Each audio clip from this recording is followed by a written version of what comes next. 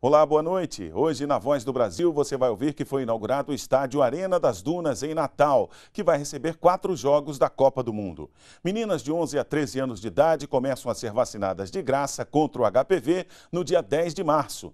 E ainda, as escolas que exigirem material de uso coletivo poderão receber uma multa de até 6 milhões de reais.